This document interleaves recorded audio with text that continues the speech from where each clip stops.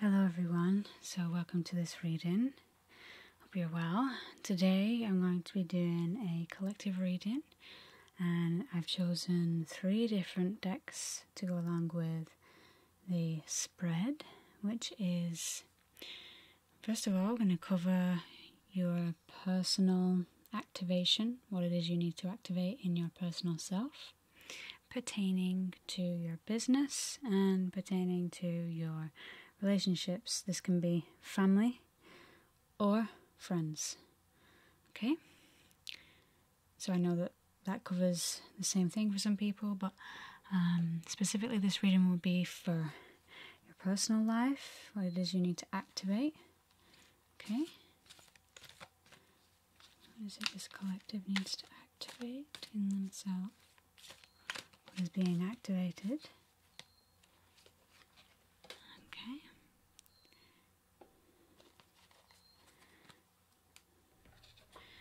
Then we have what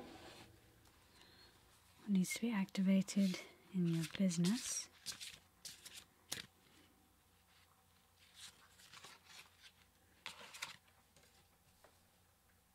Okay. And finally, we have what you need to know about your family or, like I say, your friends. Some people. That's the same thing. We got two cards. Uh, for some people, friends are like family, not necessarily their um, original bloodline, for example. So it's whoever pops into your mind. Um, but yeah, these are for specifically family. Okay, so here, what are we activating? Throat chakra. So it was upside down. So maybe there's been a bit of a struggle for some of us to express our voice, uh, really speak our truth, almost like we can't necessarily own our truth, we can't necessarily take responsibility for who we are and what we have to say. So we've kind of closed it down and said, No, I'm not going to speak up. I don't want people to see the real me. I'm afraid of what they'll do if they see the real me. And that has led to some difficulty, I'm sure. And now you're being called to activate the space, not be afraid to let people see who you really are because at the end of the day, you're having these thoughts anyways. You're speaking words to yourself about other people, about experiences. It's all still there in the psychic realm. But if you're not speaking it out loud, you can't really be sure about what it is that you resonate with. You can't really be sure about who you are as easily, especially in conjunction pertaining to your relationships, because other people don't know you as well if you're not necessarily speaking to them as often. There are times where you might not want to share or speak your voice because maybe you sense that it's not the right time, or it's just that you would rather not speak about the topic that's being discussed, or you don't necessarily like the person's energy in that moment in time. Whatever it is that keeps you from sharing your voice, you know, there's some intuition, you can listen to that. There's no need to rush in and speak all the time.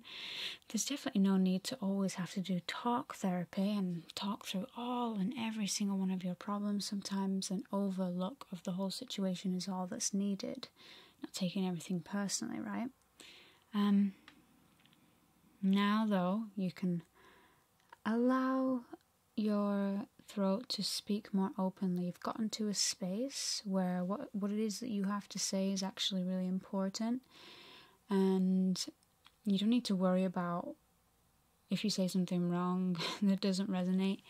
Um, you can change it. You can always say, actually, you know what? What I just said was maybe you know fill in the blank. Didn't resonate. Wasn't right. You know, blah blah blah. Um, here's what I'm thinking and feeling now. So you can always correct, you can always course correct in the moment and change lanes at any time.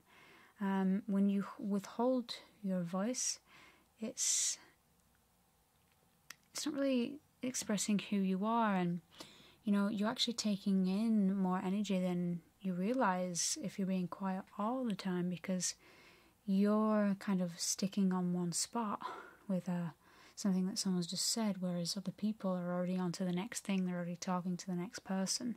They're not dwelling on it as much as you are if you're being quiet all the time.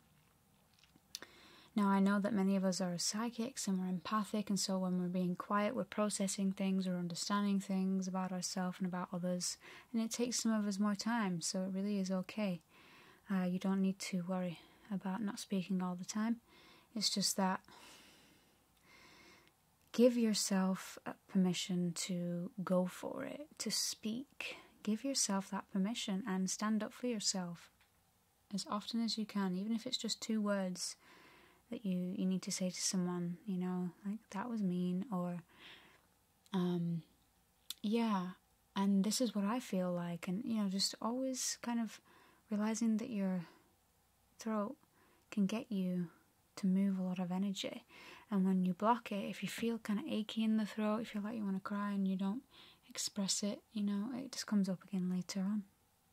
So why not express it? You know, this frequency is being activated in you now.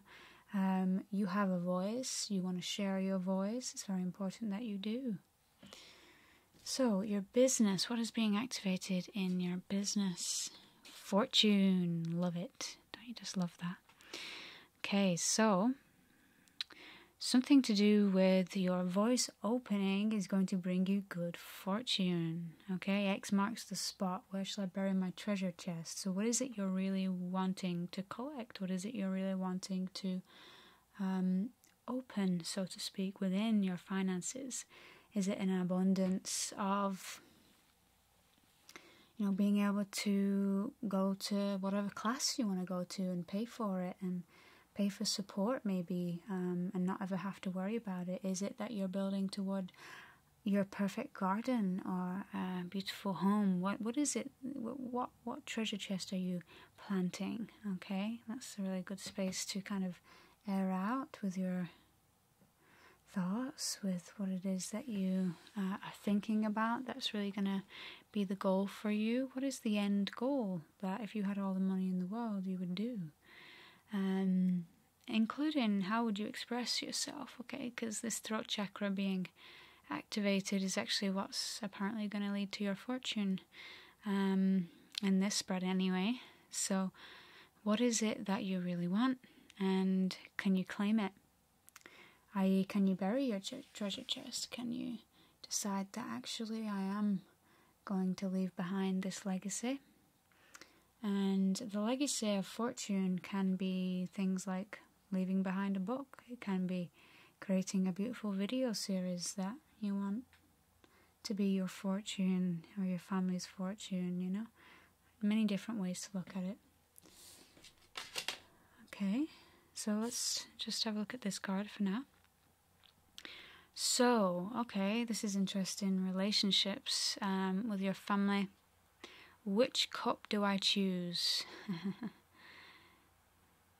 is the notion that I'm getting here is that you're a little bit unsure of who your family or your friends, depending on who you decided this reading was going to be uh, for you pertaining to, uh, you're a little bit unsure of how they feel and think sometimes. You're kind of in an illusory state about it. Sometimes you get it right and you pick the, the good cup, so to speak, and you actually do really feel into a genuine part of them, uh, whether you're in person with them or not. And other times you pick the illusion, you pick the thing that's more like you projecting, and you know, that can kind of linger a, a while. It can create judgment, perhaps it can create uh, more suffering than needed. So, in this case, it's really asking you to not psychically project what you think is going on with people unless it makes you and the other person feel good. Now, you won't know if it makes them feel good, but if something makes you feel good and it's not at the expense of someone else, instead, it's it's more like sharing love with them in a way like oh wow i see you and and you actually help me to be a better version of myself even if you do even if you don't have any idea about that you know it's the things that lift you up how often are you able to um, transmute transform your beliefs surrounding your family, your friends. How how often can you see seek to help them in some way, even if it's just sending a prayer or a good thought their way, or doing something nice for them? How often can you do that? Um, and finally, that's going to lead to happy families. X marks the spot again. Interesting. Oh, would you look at that? So yeah, we have two, four, six, eight, ten cups. I feel like that speaks for itself. Um, this is all going to come to fruition for you. Happy families, joy, peace, understanding life on a deeper level in a way that you never knew before. If you can choose the right cup. And I say the right cup, I just I just mean joy, peace, happiness. How often can you choose it? Okay. So I've, I've actually got to go. Um, I really would love to have kind of gone through this a little bit more with you, but um, this is the collective reading for today, and I absolutely would love to do a personal one on one reading for you, so you can find out the details for that down below. And I'll hopefully see you there and in the next video. Take care. Bye.